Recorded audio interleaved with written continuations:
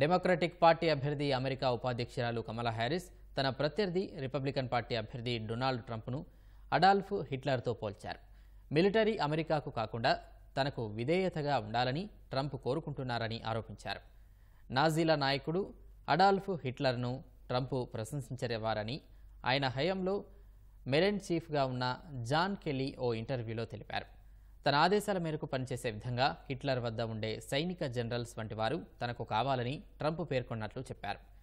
John Kelly వ్యాఖ్యల నేపథ్యంలో ట్రంప్పై కమలా Harris ఎదురుదాడి పెంచారు. ట్రంప్ తనకు అసాధారణ అధికారాలు ఉండాలని కోరుకుంటున్నట్లు కమలా విమర్శించారు. తన ఆదేశాలు పాటించేవారు సైన్యంలో ఉండాలని ఆయన కోరుకుంటున్నట్లు కమలా హ్యారిస్ ధ్వజమెత్తారు.